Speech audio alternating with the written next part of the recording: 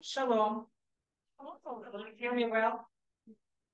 I can stand, I can like remain sitting, I don't know, whatever. We have more participating uh, today. I'm sorry that we didn't have enough lunches, but at least we had enough water. It would, it would do. It's uh, always difficult to, to predict how many people are coming, although something was telling us that we are going to have more. But uh, well, I had probably a little bit too, too little faith. Otherwise, I would count with more coming. Anyway, thank you for coming to uh, discuss this uh, very dramatic, I would say, uh, subject for today. And uh, I hope that you understand uh, that it relates to all of us. It's not just somewhere there in Israel, but it's also worldwide and it's in United States. As uh, and it concerns Jewish people, but it will also concern Christians. I mean, all Christians. Today on the news, I read something uh, what the Erdogan, the president, uh, the prime minister of Turkey, said. And he said that we start with Jews, but Christians will follow.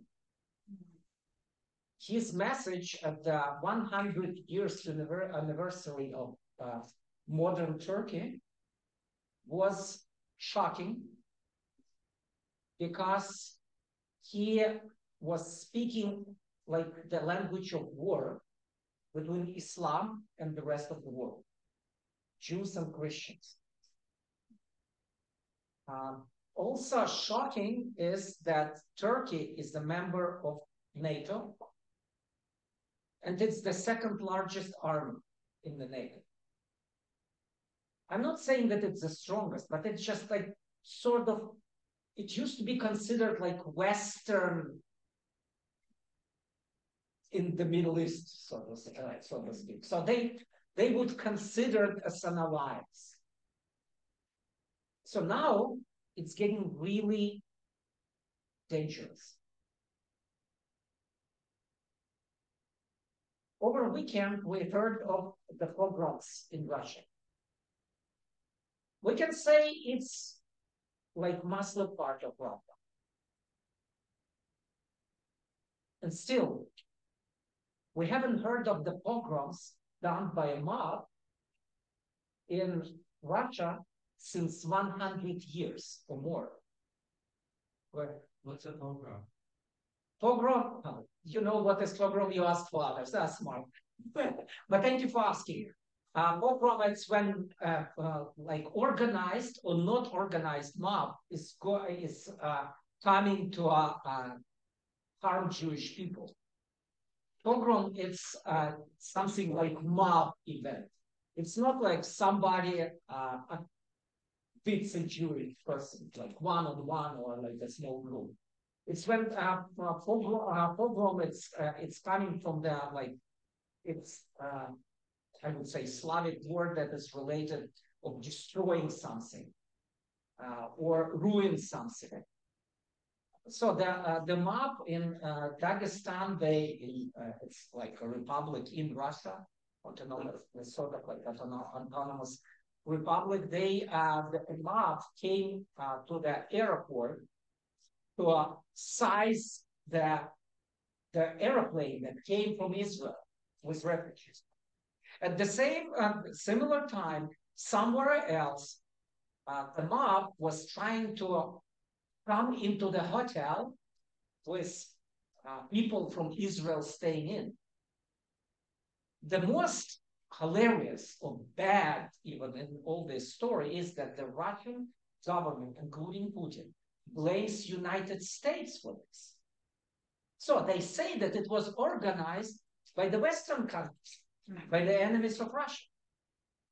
So just for me as a Jewish uh, person, it says they can kill us and blame United States for that. Mm. It's not new in the history but it's it's threatened. It's uh, it's tricky. And uh, the war is in Israel, but the consequences is everywhere. And unfortunately, and unavoidable, we're going to feel the consequences of that everywhere in the world. The Jewish community is, is so in such distress these days, worldwide. So much of fear, so much of anger. I haven't seen in my life ever. What we experience right now, be it in the Middle East or worldwide, it's getting an apocalyptic scope, apocalyptic size. Mm-hmm. I I'm not like I'm not trying to scare you. Seriously, and I'm not. I, those who know me, you know that I'm not like speculating about end times. Even now, I'm not going to speculate when the rapture is going to take place. Maybe tonight, I don't know, on part of here of the lawn. Uh, would be nice, but what we experience at the moment, what we see on the news, and what we experience even in our lives as Jewish people, but also other people involved, it's it's apocalyptic in a in the outcome, so in the, so. That's why thank you for your interest of coming today. I know that you are you have had many other nice opportunities for lunch and for uh, fellowship, but thank you for coming. And we're going to build this as a discussion, as we usually do with eat and talk discussions or with brown bags. I would moderate it, but I would love you to speak up and to uh, say your view on what's going on and what Jesus would do. We're not going to politicize that. I'm not, uh, I try to stay away from political discussion. I won't even uh, stay away who is uh, from the things like whom the land belong to, who has right to live where. I, I don't want to speak about Israel and Palestine, about different ways solutions to state or no state. I don't know. Just I'm not.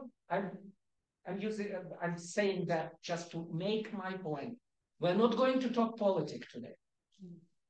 We're going to talk Yeshua, Jesus, what he would do, how he reacts, how he would react, and uh, and what the Bible and our Messiah Yeshua tells us in relationship to uh, uh, what's going on, how we should feel, how we should react, how what is expected of us in, in this uh, moment. So, in your uh, in your in our discussion, please stay away from political uh, side of it, okay? Because it's not the way we are going to solve this right now we are we're inviting now the Holy Spirit to guide and lead us in this discussion. And let me pray. But you know, our Father, we're grateful for your presence here with us and your presence in our life. We're grateful for your presence in history and for the fact that you are making the history. That you are the God who rules this world and never distant himself from our lives and from what's going on.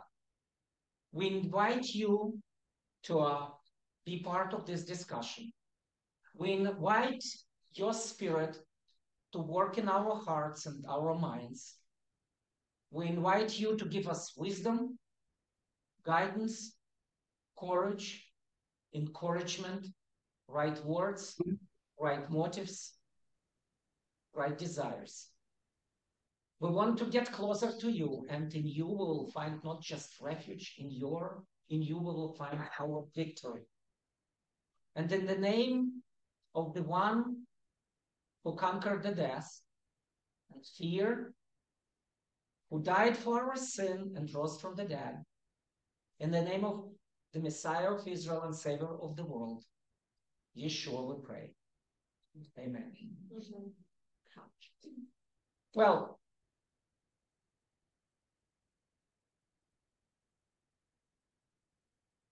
on October 7th, it all started. We celebrated Simchat Torah, even at our congregation in Berlin. We were in distress immediately. And still, it's the day when we dance with the Torah. It's a very important Jewish holiday. We rejoice that God gave us His revelation, His guidance in the Torah, what is usually translated in Christianity as the law in, in English. And I said that let us dance regardless, because by dancing with the Torah and rejoicing in the Lord, we will have our victory also. So let's conquer the fear by praising Him. I didn't know how it's oh, going to turn out. And also, on October 8th, I should fly to Israel. My flight was canceled. I was so upset. I tried to fly the next day. My flight was canceled. And I got the message that God was trying to tell me. My desire was to be in Israel and to minister to people there. But his message to me was, I want you to stay and to be in the diaspora. And I quickly realized why. Because the Jewish community is in danger. Jewish people are in danger, even in Germany. What was your reaction as it all happened? After October 7th, on October 7th and then the following week, let's say, how, what, what did you think? What did you feel? How did you, how did you relate to that? Please talk to me. What spiritual experience you had in this regard? So how, what did you think of God in all this? Um, it's uh, the camera. Camera is on me. My name is uh, everybody knows, but it's recorded, but without your face and without your name. So speak up. It's anonymous for you in this in this room. Online, it's different. Awesome. Sure. I uh, received a text from a friend early in the morning that said Israel is at war. And immediately I went to the sources that I had to find out what was going on. And just began to weep. And I went and brought, showed this to my husband. And he tried to, to comfort me and say, This happens a lot. This is fine. This is going to be okay. And I said, No, no, no. This feels different. This just feels different. And um, I can still hardly talk about it. Thank you. Morning reading responses from Amos and Amos chapter 3 in the prayer of Amos that Lord Jacob is more. Like I was Lord sustain Jacob, like sustain Israel. That was just in my heart. That verse came, Lord Jacob is more. That's all I, I could think of and then um, praying, still praying. Absolutely. Thank you. For me, it was uh, what else is new? You know, that there's been fighting since the beginning of time. They'll be fighting literally at the end of time. So it was for me. It's what what can I do? How can I how can I wrestle through, you know, my own kind of just like I don't know if apathy is like the right word, but um, you know, what what really you know, other than prayer, which, you know, is always the right answer, but what, you know, what, what can I do? What, what, what would, what would that even, you know, make a, make a difference personally? Like, is this, is this anything new? Thank you. It brought up lots of memories I've had with lots of Christian brothers and sisters who don't see Israel as having a part in God's plan anymore. It just made me angry. It reminded me of lots of conversations or even conferences I've been to where it's been focused on Jewish missions and Christians will brush it off and say, ah, why are we focusing on this? It's like, can't you see? Look around. Satan hates the Jews. And he has a target on their back for a reason. Thank you.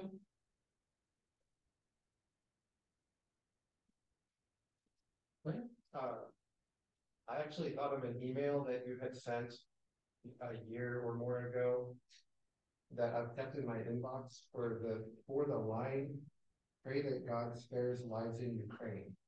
You sent an email that had that line in it, and I was like, I need to keep this email and pray for God to spare lives in Ukraine. So every time I look at my inbox, I see it, and that was one of my more immediate reactions. Pray that God spares lives in the Middle East, because that's what He's doing right now for us.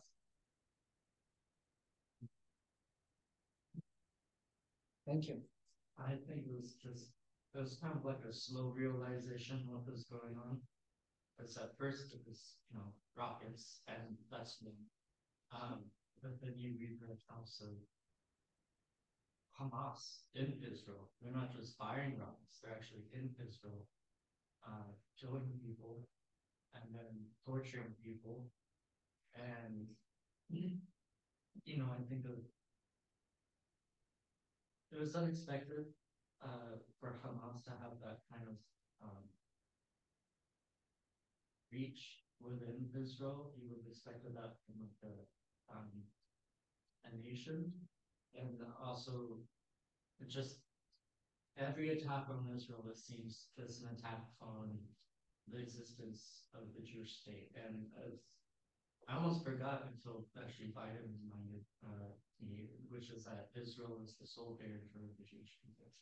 Um, really God, but uh, you know, and my mind goes to this isn't just the state of Israel. This is Jewish people like me all over the world.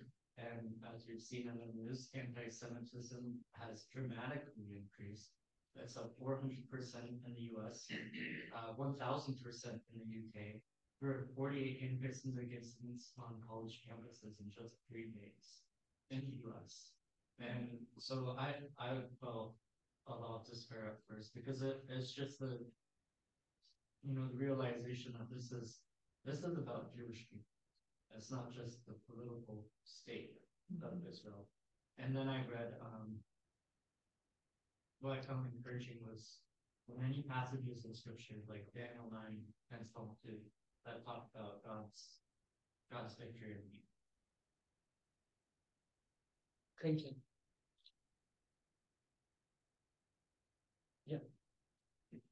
Uh, when this happened, I could uh, understand it because uh, being from a country with it was majority and listen to it all the time about hatred against Jews.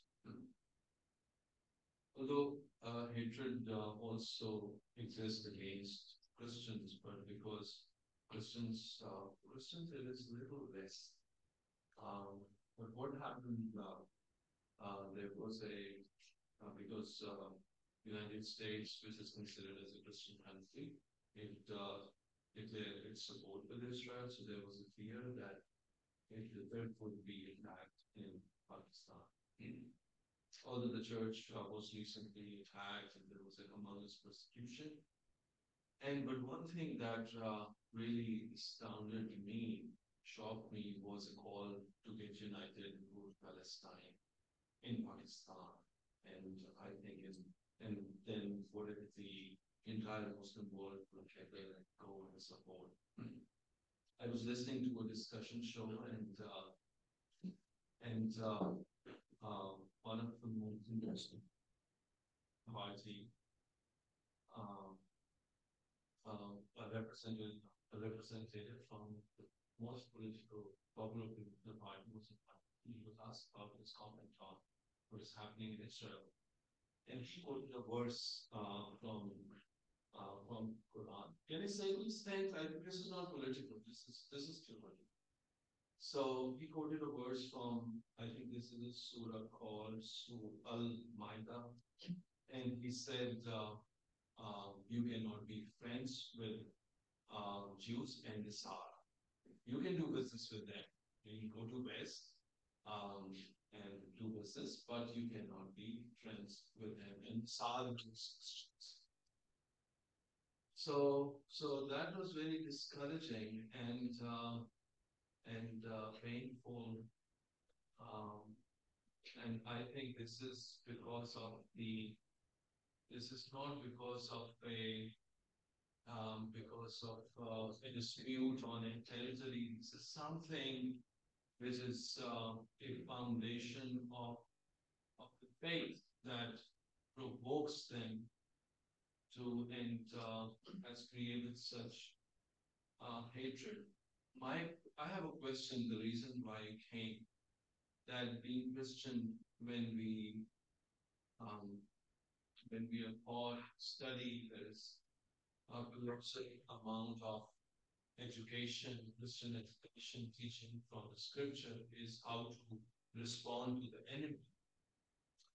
My question is that how could we comprehend the way the response to uh, response to the powers in Palestine, right? Although uh, you know this is uh, this uh, um, this understanding is uh, spreading. I uh, was recently listening to the interview of uh, Musab Hassan So I, I should not quote a name. So he made it very clear, although Palestinian, that that uh, uh, Hamas should be eradicated. So how does it make sense? So Christians are confused. It's not only me in US, all around the world. Christians are confused. How should how should uh, that's uh, that's what we're trying to discuss. But first, that and that's why I asked to tell how you feel about that because we need uh, it's like I want to understand and I want us to understand where we stand in this.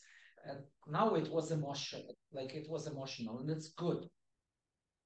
To share emotions is uh, is important. So uh, share yours, and then we will come to some questions that I have. Thank you. I think that um, by no means do I ever want to sound ignorant but I feel like for a person who just, I feel so confused. I think I feel confused because I, a lot of times we're getting news. It's hard to find out what news is correct, mm-hmm. especially in our current climate when it comes to a lot of people are getting their news from social media. There's a lot of a lot of things that are being shared, and especially when you have friends that are from different countries that might associate with the different sides, political sides, if you will, and they're sharing different stuff. And there's so many things that have been happening since 2020 and obviously before that, that it's kind of easy to just be like, similar to what the gentleman shared, like, oh, this is another thing. And obviously, by no means am I saying that about a serious issue, but it's it's hard to for me personally, it's hard to comprehend and to understand what exactly is happening and to Hanan's point, like where we should be standing in the middle of this. But I think the Lord is just reminding me that I have such a great resource, um, wealth of resources and individuals who actually have like boots on the ground, like you, people who can educate us and tell us their specific story as opposed to us like say, hey, let me go to social media and get all my information and then find out where I stand right. um, actually talking to people and being in prayer, also going to hopefully newsworthy like uh, sources that can actually tell what, us. What do you? Also, thank you everybody. You I appreciate what was said. I might, I, I don't consider that in terms agree or disagree. I expected you to say what you feel, and I'm not going to comment on feelings. What do we feel? What do we feel when we read the news on social media or like generally, whatever, both sides news? What do we feel usually? I would name some, and you maybe could add something to this list. Anger, much anger. Second, fear, much fear. Sorrow, right? What else? Frustration, Frustration, Confusion. confusion, Conflict. sadness, disbelief. It's it's a full package of negative. So doesn't matter what side we uh, or just what presentation we uh, we read. It just puts us down. and there are many reasons to to be emotionally down because of that, because it's a tragedy. It's a cata- catastrophe for all people involved. And we immediately deal with the problem of evil, or the challenge of evil. And we need to, to name it, and we need to identify the enemy. Who is the enemy? Who? Satan. Satan. The one who tries to kill, who tries uh, who tries to kill the Jewish people, but not only. It's in his desire, because he's a killer of man. It's his desire to kill people in the Middle East, Palestinians, Syrians, Iranians, Iraqis. It's usually like everything in the Bible in God's plan, it starts with Jewish people. Kill the Jews and then kill everybody. Or just do it uh, do it simultaneously. By the way, according to the Bible, and Jesus knew that, and the uh, and the Torah is clear uh, on that. Harm Jewish people, and you will be harmed. Any type of anti-Semitism, it's like uh, a bullet that shoots you back. So by harming Jewish people, you harm your, uh, yourself. It's clear. Then doesn't Satan know that?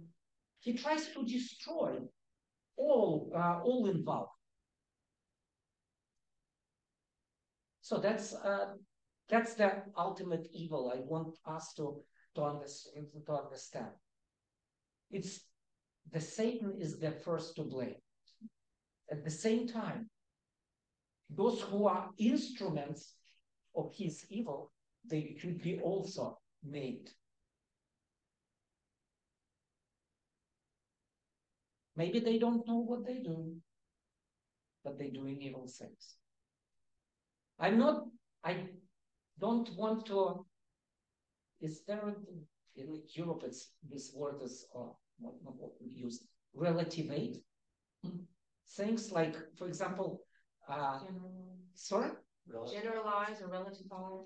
Relativate in, in the sense that, okay, it's, uh, it has its go, so I'm not, if somebody is killed brutally, or some, somebody is harmed, I'm not going to say, oh, he deserves that.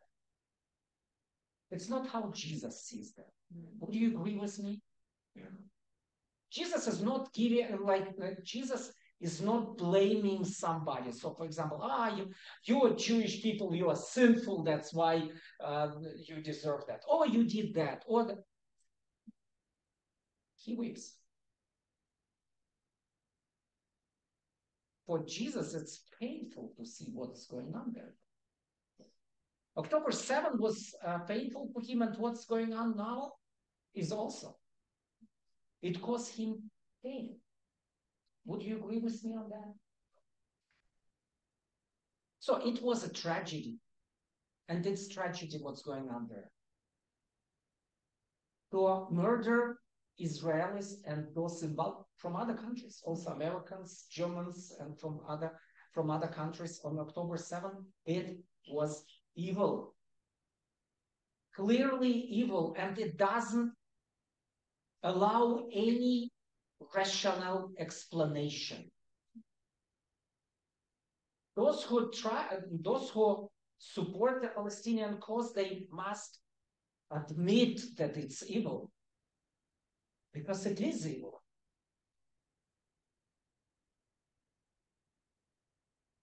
I hope everybody would agree with me on that. What Hamas did is evil. But our ultimate enemy is not even the Hamas.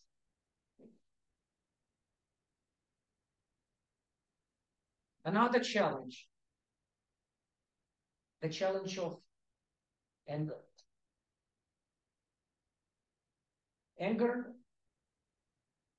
is in many cases also a sign of hopeless, like of weakness. I mean, we we feel like hopeless. We feel fear, and it pro- produce anger in, uh, in us. For example, on October 7th, I was shocked by the fact that uh, the terrorists could kill Jewish people for hours, and the military was not there. It sounded so irrational, so unexpected, that even today many think that it was a conspiracy. Fear and anger. What would Jesus do with this challenge? The challenge of anger. Is it okay to be angry? I think so. Jesus was angry sometimes. Read the Psalms.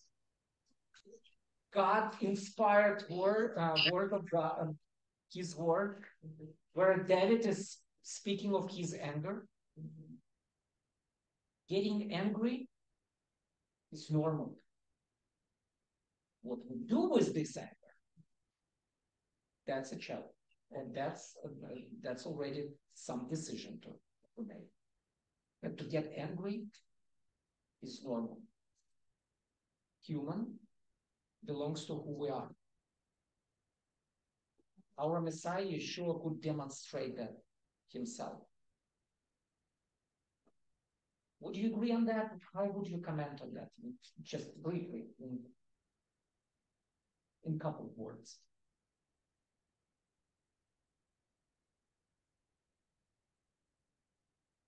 Like, um, I think like we have this emotion of anger, um, because sometimes we can be very um non-confrontational or very you know what I mean, level. And sometimes it takes that anger to propel you to action, but hopefully you'll choose, like you're saying, the right. Um, but in anger, a deep anger can actually, you know, uh, carry you for through, you know what I mean, a lot of obstacles to do the right thing if you right. choose the right thing. Right. So that we need to. It's important to admit that if we're angry, it's important to admit and um, accept it in ourselves. That's that's okay, but it leads to something. Uh, what is next? A challenge of retaliation. How our anger is coming out. What does our anger produce? What would Jesus do? What would Yeshua do in this regard? I'm reminded of uh, the sermon, so-called Sermon on the Mount. Turn the other cheek. Forgive. Not necessarily forget. He is not asking us for supernatural. Although to forgive is already like uh, supernatural. So retaliation is in the Torah, but not necessarily in the in the kingdom of our Messiah. Uh, there, uh, there was one Israeli German young woman that was killed. yesterday I read on the news her uh, parents said we are not we don't have like that the feeling of anger and desire to retaliate will not bring our daughter back. And they are not believers.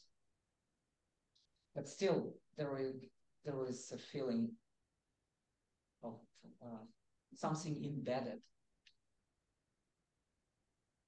in the culture, even in like Jewish Christian values. Would you agree with me that Yeshua would oppose retaliation?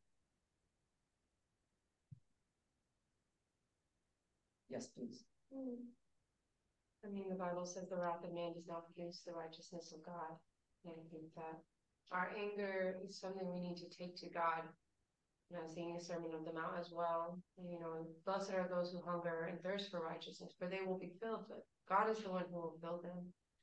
And I think that when we let anger, my reaction when I see these things and when I see, you know, Palestinians dying as well, is sorrow and prayer for people's hearts because so many on both sides of the ideology, whether here or there, will their heart will be hard.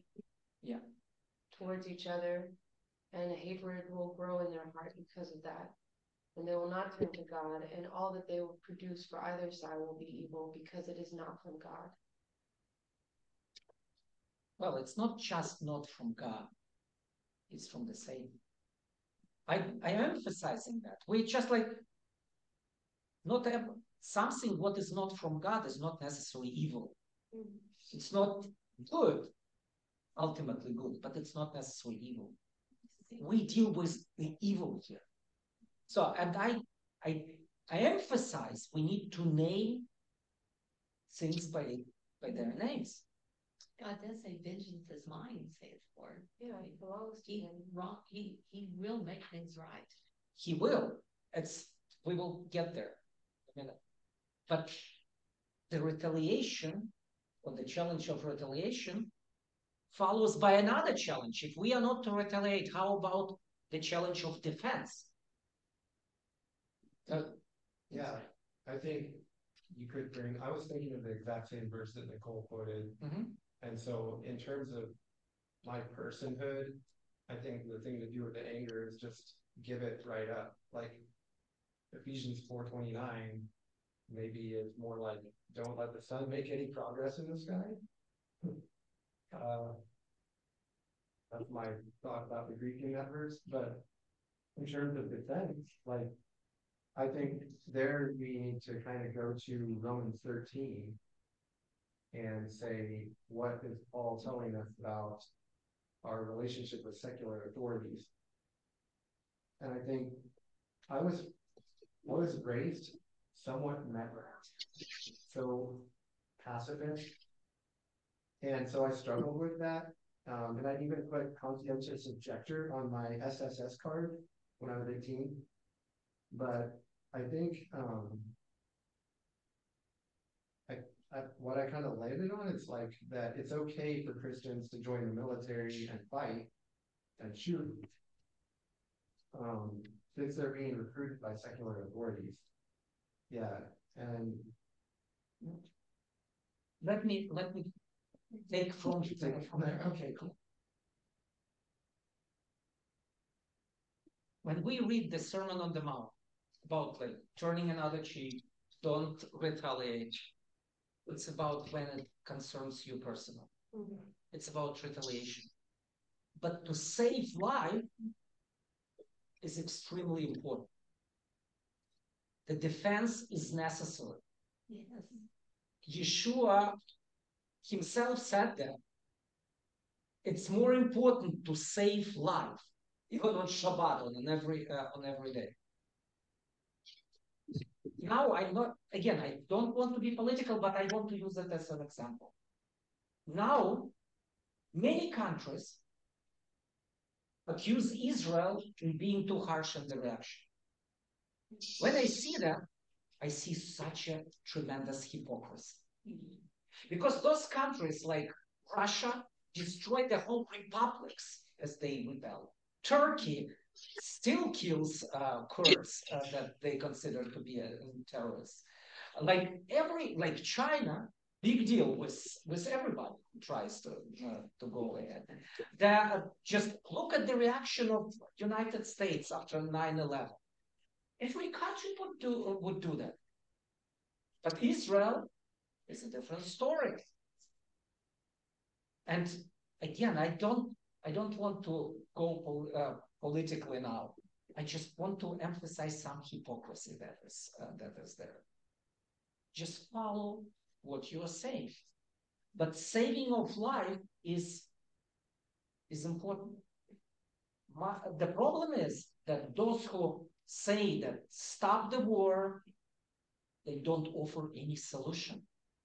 My question is, what should Israel do then in this situation? Just suggest something different. What we have not tried before. Vacating Gaza like 17 years ago. Or, uh, or just uh, uh, trying to uh, have two states in previous in previous in years. So on both sides, on there was there were attempts and also with uh, with involvement of other countries. Just suggest something else. If out of nothing there was such a brutality that came, mm. what would you do? What would you suggest? How to deal, not retaliation, but like protection of your people, defense um, against this these people. Now there is an outcry that civilians are dying, and that's tragedy. Listen, I feel, and I'm, I'm honest, I feel so sorry for the Palestinians who, who suffer there. I just, I, I almost cry when I see this, uh, pictures or this, this news. but who am I to raise my voice if all other countries, when they protect themselves, they don't count the civilians that they that uh, the uh, dying in this situation. Just we need to be sort of uh, sort of cons- consistent in uh, how we how we behave. They voted in that leadership. Well, not necessary. I don't know who voted for who. It's it's not a democracy there. What what? Who votes for what? It's just like they. It's so there is no democracy in, uh, in, of U.S. understanding in the Middle East. It's not the guilt of the people. It's just somebody seized the power. That's it, and holds to this power. It's not expression of the will of the people, but people are getting indoctrinated. That's another story.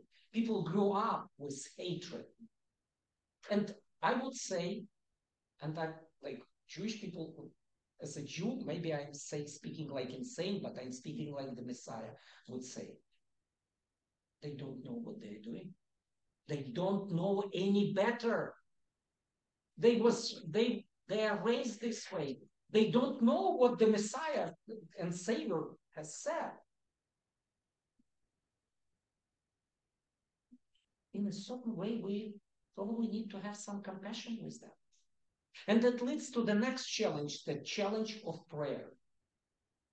And that's probably the most, the major thing that we can do. Besides getting sorry, frustrated, uh, uh, confused, uh, angry by looking at the news. Let me give you, by the way, it's, uh, I'm not talking now theology, okay? Don't don't judge me on theology. But I was in uh, Brazil at the conference of Latin Evangelical Alliance uh, last week. And at the end of the conference on Thursday night, they were doing uh, like Lord's Supper, communion. And I'm not, I'm reluctant of taking part in the communion because in, I do it for Passover, Seder, but I do it sometimes. But before that, I was reading on the news something what made me so sore and so angry, so frustrated just description of, of uh, horrible things that were done uh, there uh, there in Israel. And then I just like I was almost in tears, and then I said, I need to take part in this communion. And not just for my own sake. Jesus died for the Jewish people. And if I'm sore right now, I will take this communion for, for my people.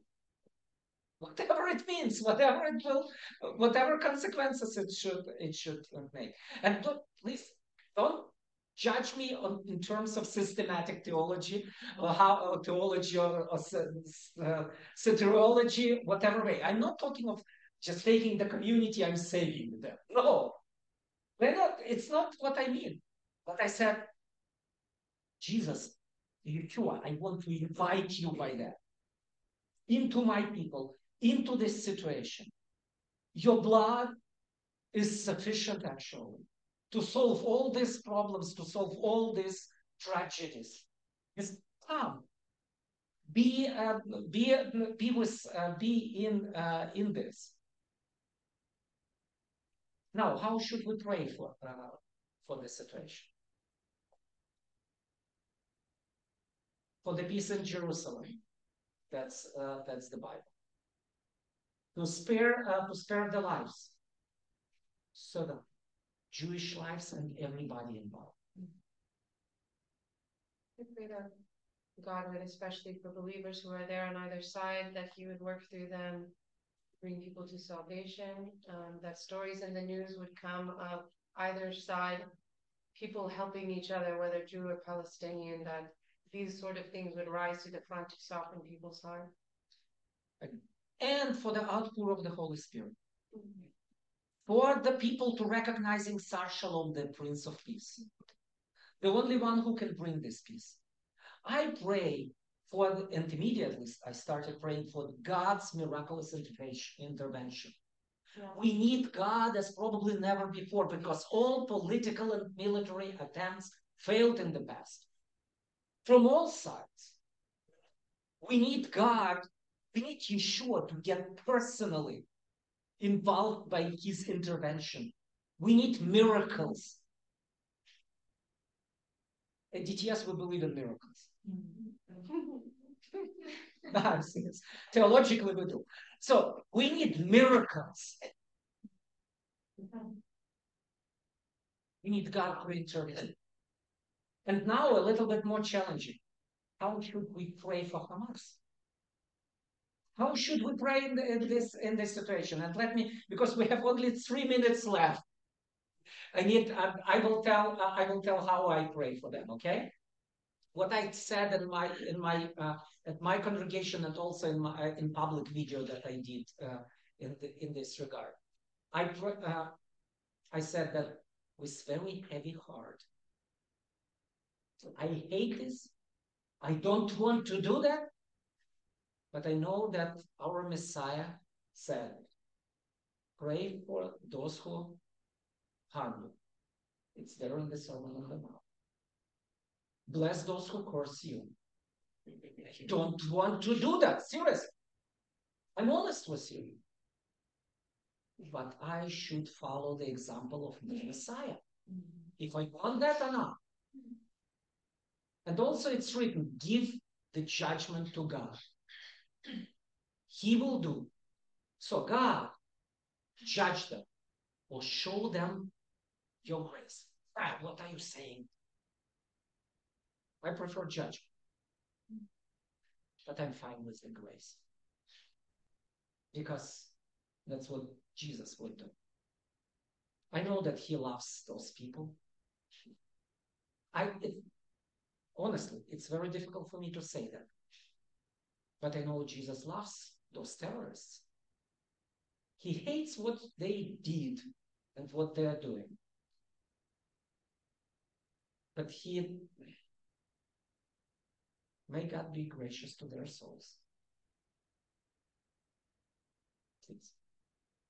I've, I've just been praying for scales to fall off everybody's eyes who who is refusing to see the truth. My son, who's in eighth grade, has a friend who has told him that the Jewish people are making everything up, that nothing really happened on that day. And so I was like, because he will refuse to listen if you get combative.